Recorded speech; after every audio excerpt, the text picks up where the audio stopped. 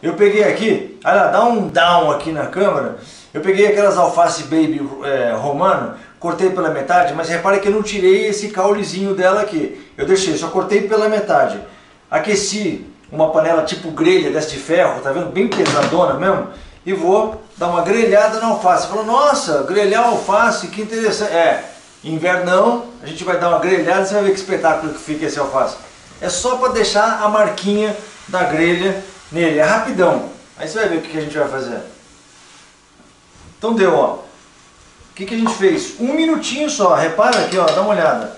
É só um lado. Olha lá. Ó, vê se consegue pegar aqui, tá vendo? Deu uma queimadinha, só uma grelhadinha no alface. Olha o que a gente faz.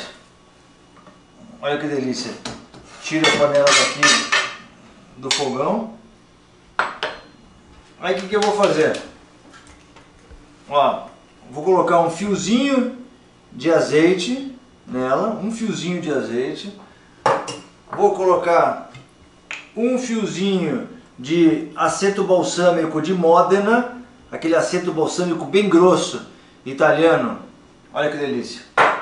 E vou ralar um queijinho parmesão aqui em cima. Você vai sentir o gostinho da salada cisa. Só falta anchova para virar uma cisa mesmo. Mas olha que delícia isso aqui. Ó, não precisa nem de sal.